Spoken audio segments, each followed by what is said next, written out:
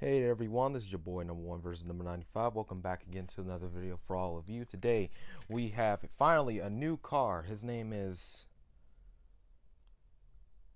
Gearsten Marshall. Gearsten Marshall. I still can't read his name. took me a couple tries, but I'm getting the hang of it. So um, he is a 155 scale diecast. He is a part of the Cars on the Road series just came out back in September, and we're just getting new cases of these cars. I have every single car here. I'll be reviewing these two, and I'm already reviewing him now. Now, his prototype looks way different between the real car, and let's open them up out of packaging. This is brand new for 2023. So here he is. Here's I'm just gonna call him Marshall. Why not? I still can't read his name correctly. He's number four. He's got RDRR. He's number four on top. He's got the beautiful stripes. He's very similar to.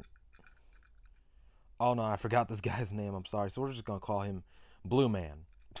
Why not? Blue Man.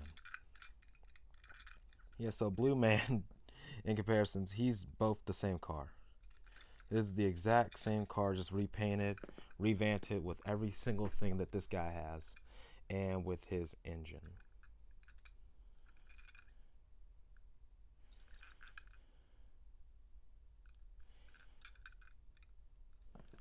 Yes, yeah, so I don't remember seeing this guy in the movie, I mean, in the TV show. He showed up in the Salt Flats episode when McQueen and Mater and made her turn to this thing. And in comparisons, yeah, he's pretty small. In my hand, and in comparisons between McQueen, he's pretty big. Alright, everyone, so I have to cut the camera almost half second there.